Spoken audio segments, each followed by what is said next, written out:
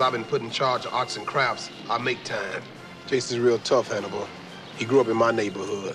He was the baddest cat around until I showed up. Still is.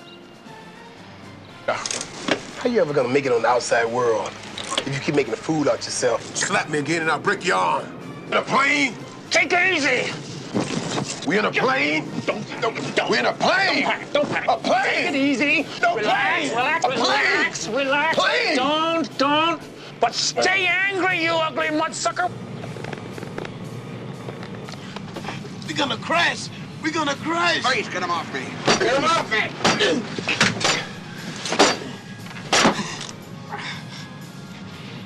Sorry, fellas. I lost my head. Where we going? Keep on going. We're gonna turn right up here.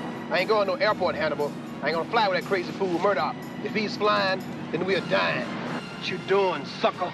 This road leads directly to the airport, Hannibal.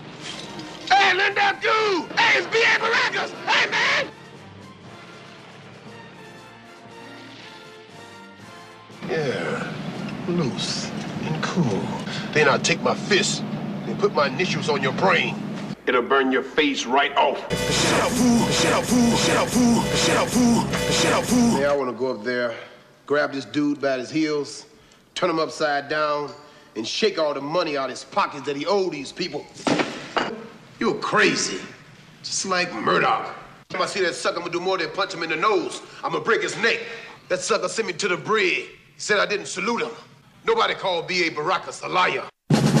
In 1972, a crack commando unit was sent to prison by a military court for a crime they didn't commit. These men promptly escaped from a maximum security stockade to the Los Angeles underground. Today, still wanted by the government, they survive as soldiers of fortune. If you have a problem, if no one else can help, and if you can find them, maybe you can hire the A-Team.